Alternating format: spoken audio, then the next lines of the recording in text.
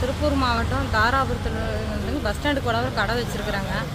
Parlour நடத்தி வந்துட்டுருக்குறேன் என்கிட்ட வந்து பணம் ஒரு பத்தாயிரம் ஒருத்தன் சங்கர் காளிவளை சங்கர்னு சொல்லி ஒரு ப- ஆள் பணம் வாங்கியிருந்தா அப்படிங்க பணத்தை கூப்பிட்டு நான் ஃபோனில் எப்போ பணம் கொடுப்பீங்கன்னு கேட்டதுக்கு கடையில் வந்து என்னை தகாத வார்த்தையால் பேசி என்னை மிகவும் ரொம்ப அடிச்சிட்டா அப்படிங்க எட்டி மிதிச்சிட்டா அப்படி அது சமயம் நான் தி- ஆராபுரம் காவல் நிலையத்தில் வந்து கம்ப்ளைண்ட் பண்ணியிருந்தேங்க. இப்போ அவங்கள ரிமாண்ட் பண்ணியிருக்கிறாங்க.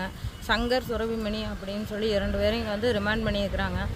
பின்னாடி ரிலீஸ் ஆகிட்டு வந்துட்டும். என்னை எதுவும் வந்து கொலை மிரட்டலாம் அது மாதிரி இல்லாமல் எனக்கு தக்க பாதுகாப்பு கொடுக்கணுங்க. காவல்துறை வந்து. அவங்களால எனக்கு பயமாக இருக்குது. உயிருக்கு பயமாகவும் இருக்குதுங்க.